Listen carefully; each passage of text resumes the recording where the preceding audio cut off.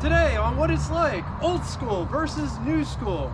Over here on this corner, 1952 Chevy one ton truck. Over here, 2020 Chevy one ton truck. Which one is the truck for you? Find out today on What It's Like. But before getting into all of it, a bit of a side note, we will be doing three types of comparison videos on this channel because this is sort of an outside the box type of channel. We already do this versus that where we compare similar cars to one another. Old versus new or original versus retro, and the last category would be non-comparable comparisons. This fits in both the last two categories. Anyway, I'm Jay. Welcome to What It's Like. This channel, we feature the classics, vintage, some exotics, lots of orphan cars, and cars that are off the beaten path. We dive in deep, give perceptions, as well as period correct ads and specs, and talk about things that people just simply don't talk about on other channels. If that sounds of interest to you, subscribe and hit the bell icon next to it to never miss a video. So, if you're still watching, you're probably sitting there wondering why compare these two trucks. They are 70 years apart. The 52 Chevy is my truck, and I paid a lot less for it than my father in law's GMC Denali. I'll just let you in. I'm not going to tell you how much I paid for this truck, but I'm just going to tell you I paid less than one tenth of what my father in law did. So, this episode do you need a $100,000 truck, or could a truck that costs less than one tenth the price suffice. Let's talk specs right out of the gate. The specs are going to be a truck by truck basis, meaning we're not going to go through all of the engines on offer for both of these trucks, just what's inside the trucks featured. Starting with the 52 Chevy 1 ton, aka Advanced Design 3800 series. 137 inches is the wheelbase, 224 inches long, weighs 4,200 pounds, which is roughly the same weight as a new Kia Sorento. Payload is 4,100 pounds. Price base price in 1952 for a one ton stake bed was $1,692, which was equivalent to you spending $18,950.91 in the year 2022. Oh man, have things changed. So, moving on to the 2020 Chevy Denali Dually. It rides a wheelbase of 172 inches. It is 266 inches long. 80.67 inches tall, 81.9 inches wide. That's not counting the mirrors. The curb weight is 7,064 pounds. Maximum payload is 4,398 pounds. Maximum towing is 20,000 pounds. And the price was 65,500 is what it started at. And that is equivalent because we've had a massive inflation spike. That's equivalent to $74,542.70 in the year 2022. Now let's put these specs side by side to one another and really compare the two. So let's start with the price tag. $18,950.91 for the 52 Chevy was the equivalent price of what it should cost now in 2022, but I can't think of a single truck. Not even the Ford Maverick is that cheap. Anyway, the difference is $55,591.79. Just think about that for a second. That's really painful. That's almost as much as I owe on my house. That's crazy. Anyway, if you look at these specs side by side, aside from the price tag, the new model is bigger in every way than the original. It weighs almost twice as much it also has double the seating capacity. It's 22 inches longer than the 52 Chevy, and it has a 35 inch longer wheelbase. Payload is very interesting because it's 4,100 pounds in 1952 up to 4,398 pounds in 2020. That's a difference of 298 pounds. So I thought the 52 was going to beat the new one on that category of uh, payload, but that's good that these trucks are almost 70 years apart. And one could only hope that things would improve during that time.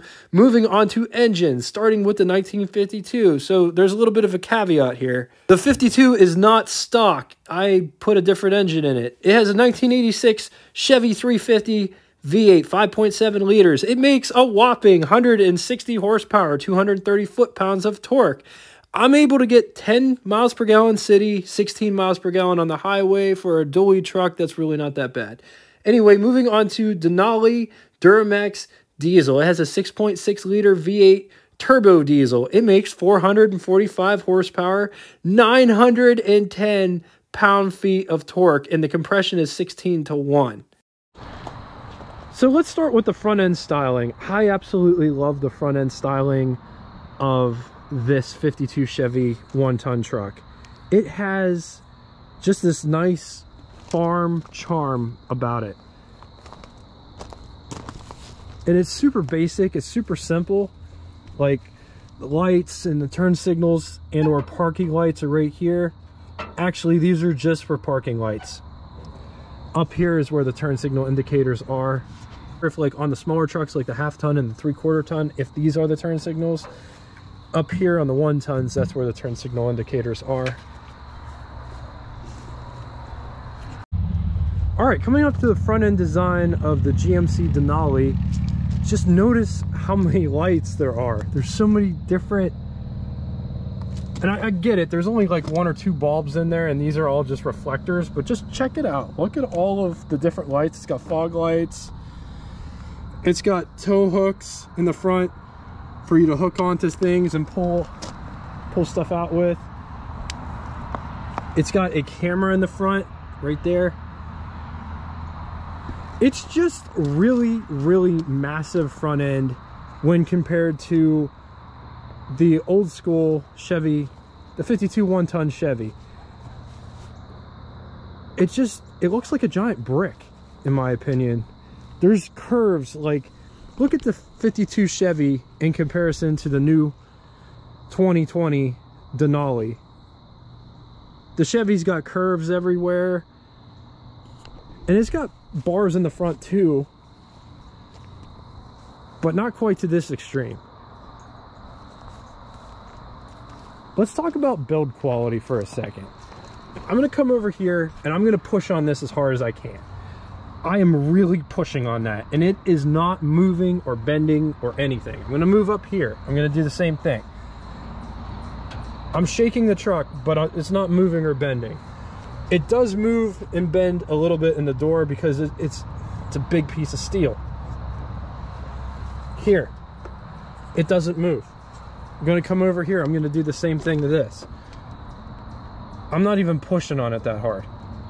And, and that's always been my biggest gripe. That's always been my biggest gripe with new cars is they're just not and i and and i get it. People are like oh man you need the crumple zones. It needs to bend and flex so that whenever you if it hits something it doesn't kill you. But if you're washing a car that's always moving it's so hard to wash. It's so much easier to wash something that has a smooth sturdy surface than it is if it's constantly moving all the time but maybe that's just my opinion over on the 52, here's what your mirror situation looks like. It's only got one mirror setting. You, it's not like bifocals, you know, you that's what you see what you see.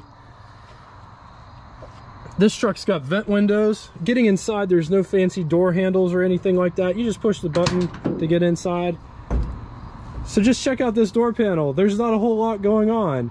This is this is cardboard. This is where the door card term came from because a lot of the older cars are simply cardboard pieces, just like this.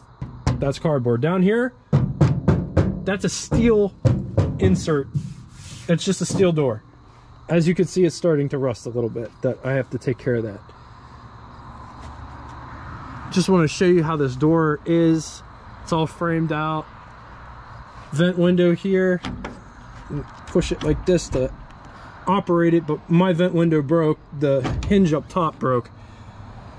I'm not entirely sure who I can contact to fix that. The little needs like welded, but yeah, it broke.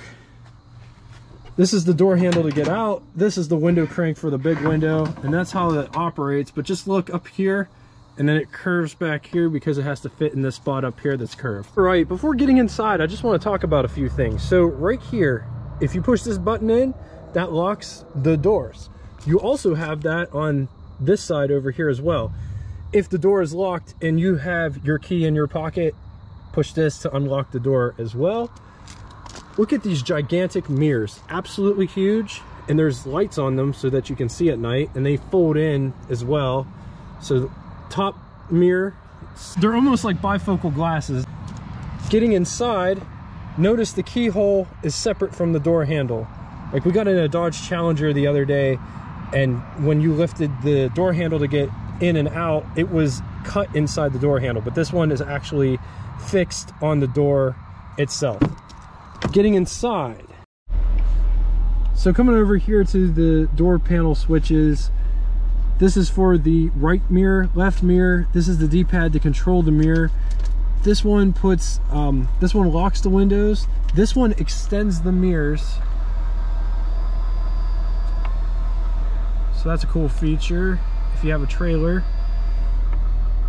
This one next to it folds the mirrors in if you're parking somewhere in a tight corner or tight spot or whatever and you didn't want the mirrors to get hit and this one if you hit it again puts the mirrors back out to where they were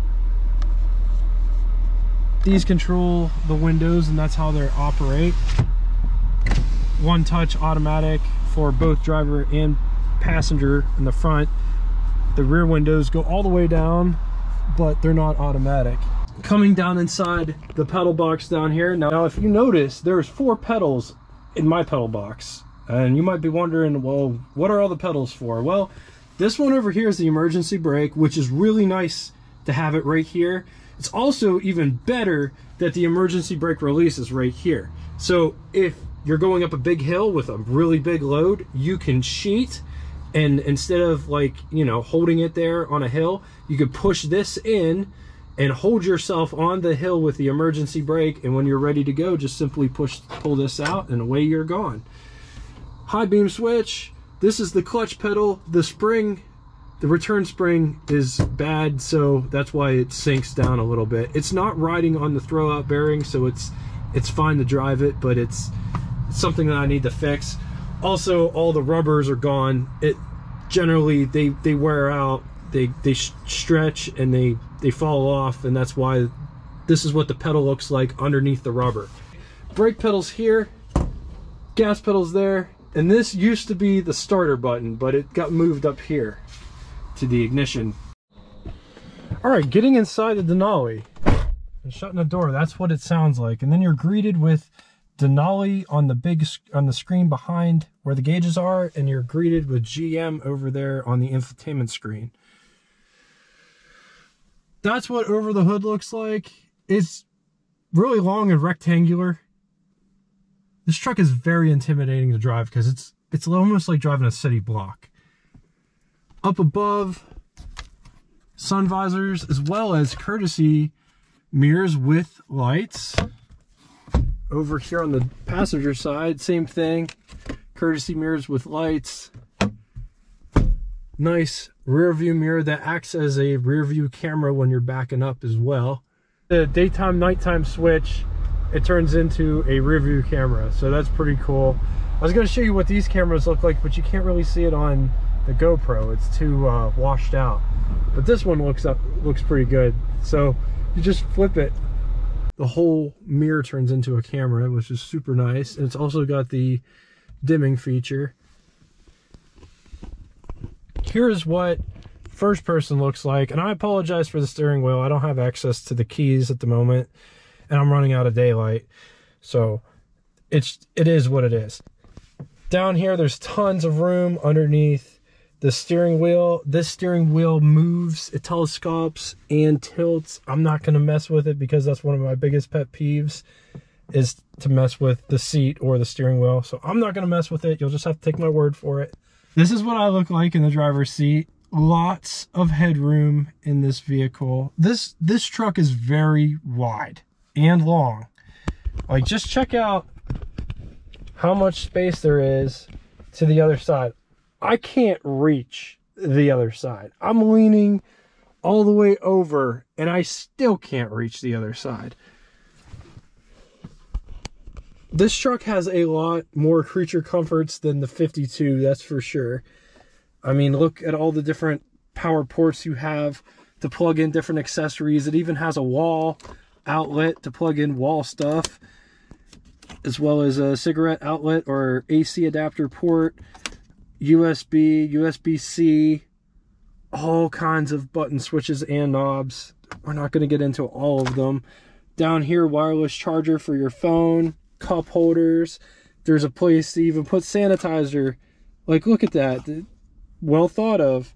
There is another charging point. This is a wireless charger here inside the 52 Chevy truck. You simply just climb up inside of it.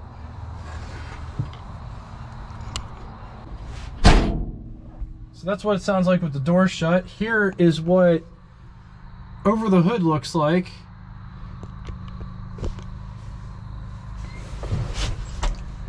Here's what first person slash over the hood looks like. As you can see, one of the things that you see right away is the sun visor. The sun visor is a positive and a negative. When you have the sun visor, it's super cool because like if it's raining, it deflects the rain a little bit. Also, if some idiot is driving with the high beams on, all you have to do is move your line of vision up to here and you high beams aren't really a problem. There are a couple issues worth mentioning. There are some issues worth mentioning though. If you get underneath a traffic light, like right underneath it, you will not see the traffic light. If it's nighttime, you can see the reflection of the traffic light in the paint. So there's that. I always try to get behind somebody. When they move, I'll move. Um, but yeah, the sun visor is great for, for that. Here's what I look like in the 52 Chevy one-ton truck. There is a ton of headroom in this truck. More headroom in this than the newer truck. And that's hard to believe because there is a ton of headroom in the new truck. But you could literally wear Abe Lincoln's style top hat and drive this and not have an issue whatsoever. Is, is there, if you've noticed, there's only one sun visor in here. And it's kind of stiff because I never really use it because I don't really need to because I got the external sun visor. But it's there if the it's beaming over here, I can move it over there.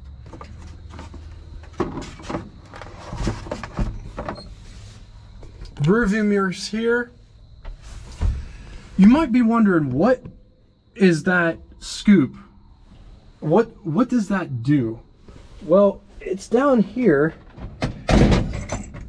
Notice it's gone. I'm gonna put it back up. That is the best thing that they don't put in cars anymore. That is the cowl air conditioning. I call it air conditioning, but it's it's essentially just takes the cold air from outside and it blows it down at your feet. I am not exaggerating. You could drive this truck 80 degrees outside with all of the windows up with just that open and it will circulate in here beautifully. It almost feels like air conditioning's on, but it's just blowing down at your feet. I never driven a car with it, but in here, that's all you need. If you had the vent windows open and that, it would be perfect. All of the windows open, it's amazing in the summertime. You don't ever get hot in this thing. You don't really need AC. I have no idea why they stopped doing that. That's the best feature they don't put on cars anymore. On to the glove box test. Here's our test subject. Here's my hand for reference. Here is our glove box that we're going to use. We're going to use the bottom one because it looks bigger than the one on the top. And you just stick it in there like that. And it it does house it. I actually think there's maybe more glove box space in this truck than there is in mine. And I only say maybe because my glove box is absolutely huge. On to the glove box test. Here's our test subject. Here is my hand for reference. Here is our glove box. This glove box is absolutely massive. So I just want to show you what's inside the glove box now. This is a flash for the camera. Here's a GoPro mount. I have fit all of this stuff, plus my iPad, plus my GoPro, plus whatever else that I've wanted to fit in here. And it shuts. And with this key, it's lockable so that, you know, nobody's going to know that all that stuff is in that glove box because the glove box looks really small. And, and that's why I show this because the car, the truck might be hard to lock, but the glove box isn't. And nobody's going to ever suspect you have an iPad or a camera in said glove box. Over here is the ashtray, and it, it's removable. This one's got an aftermarket radio here. Generally, there'd be like a dead plate. This was radio. Windshield wipers are up here. It's a really weird position for the wipers. And this one's got one windshield wiper right now. The other one, I don't know, it fell apart or something like that. Just some basic, here's the lights. This is choke. This is for throttle. If you had this hooked up, I don't, but if you had it hooked up, you can almost use it as a primitive cruise control, but more or less, it was for if you had a PTO. Switches down here. We already talked about the brake release. This is for the defrost. So if you have it pulled out, that is for defrost. If you have it pushed in, that sends the heat to the floor. This doesn't have any panel heat, as in it doesn't come, if you have the heater on, it does not come through the panel. There is nowhere for the heat to come through the panel. It either goes to the defrost, which comes out these little vents here, or it goes down at your feet. The one next to it, this is for the fan. This controls the fan speed or the blower motor. Over here, none of that will work if you don't turn on the heater, of course. This is the heater. You turn on the heater by turning this. You turn it to the to the right for warmer and you turn it to the left for colder. And the actual heater motor is down here. So there's there's a lot of parts to this process. It's it's funny. This this is an aftermarket switch for the fan. This used to have an electric fan. So just check out there's running boards down here to get into and the running boards come all the way back for the second passenger for the second row seat of passengers. Plus there's a nice step to get into the bed here. Look at how massive this fuel door is. And it's got a place to put diesel as well as DEF because you have to put an additive in if you have a diesel vehicle over a certain year. And just check out th how this flares out because it's also a dually. You can see GM inside the reflector. Just so you never forget that this is a GM product. Coming back here, there is another step to get into the bed. And just check out the bed. Like I said, we use this today. My This is my father-in-law's truck and we he's up here visiting us foot bed this bed is over here same thing got a nice step to get up in the bed so it's, it's symmetrical coming over here this truck does not have a mega cab or quad cab or i'm not sure what gm's uh, definition of crew cab is but i do have running boards here the running boards kind of stop here right as the cab corners are. People complain all the time about a door gap. You want to see a door gap? This is a door gap. It gets better. In the wintertime, there barely is even a gap at all. But the doors need re realigned, essentially. But a cool feature my this truck has that the new trucks don't are these windows here and I just want to show you this. So why they stopped doing this is beyond me, but if you got to an intersection, you could just look out this window and see. Just see how convenient that would be.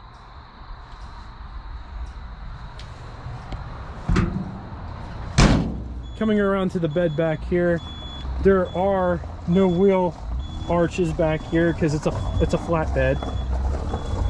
These wheels are two sizes bigger than the wheels on the newer truck. The On the new truck, it's got 17s. These are 19.5s. This bed is wider than the new bed. It's a stake bed. Yes, you could get a one-ton stake bed new truck, but we're just we're just comparing what's here. Oh yeah, and there is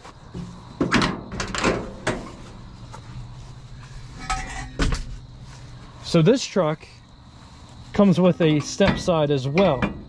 Only this step is totally adjustable and you can move it wherever you'd like to put the step. So if you want the step to be there, you can put it there. If you want the step to be back here, you could put it back here because it hooks onto the rail of the bed and it's fully adjustable. If you want to move it to the other side, you could even do that as well. Moving to the under the hood section, just pull this, even though there's a car on there. All right, after messing around for a little bit, I finally found it, if I can find it again. Um, it's in the middle. It's sort of right here where the M is. There is a lever and you're gonna pull it, move it to the right. And that releases the hood.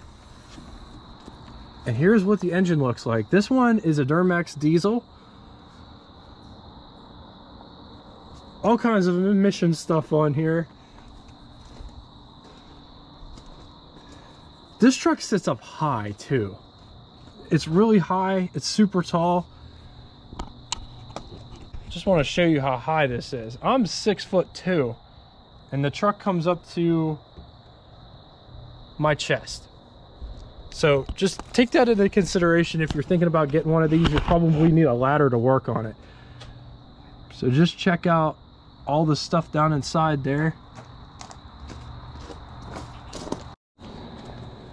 Getting underneath the hood of the 52, it's really not that complicated. There is one catch here, pull it, that pops that, and then the second catch is right here.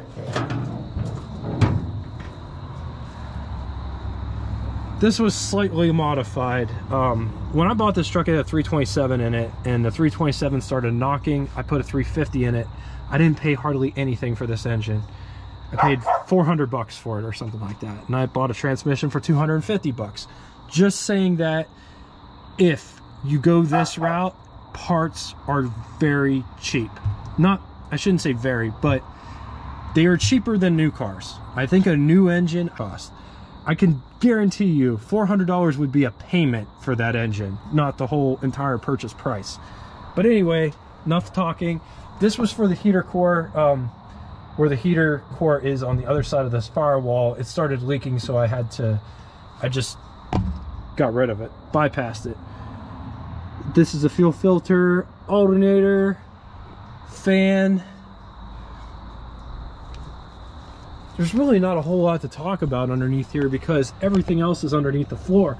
As you can see, there's no battery. The battery is under the floor on the passenger side. It has a nice Auga horn. Here's the steering wheel column. It goes down inside the steering wheel rack down there. But yeah, there's no power steering. There's really no headaches. Distributors in the back. Starting the Denali, you just get in, hit the brake, and then hit the start stop button here.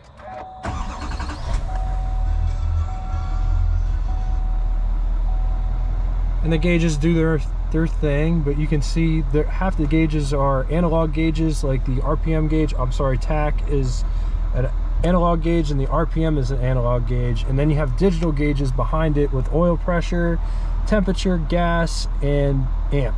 And then up there in the corner, up in the right hand corner, it says two wheel drive. If you have it in four wheel drive, it says it up there. And it tells you your lights are on in the left hand corner. It also gives you a digital display of your speed, as well as how many miles are on it and what direction you're facing. All right, starting this, you just put your foot on the clutch, give the gas one pump, I'm gonna turn my lights on so you can see what this looks like.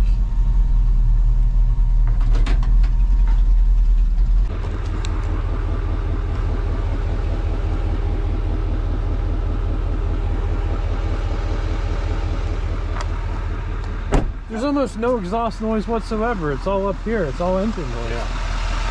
yeah. I thought those were reflectors. I didn't know they were yeah.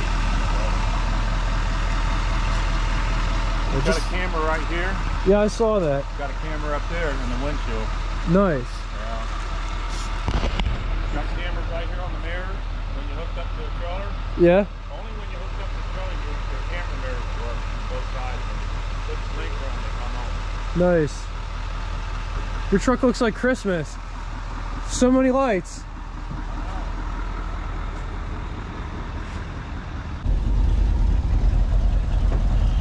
I have a light burned out. Here's what it sounds like.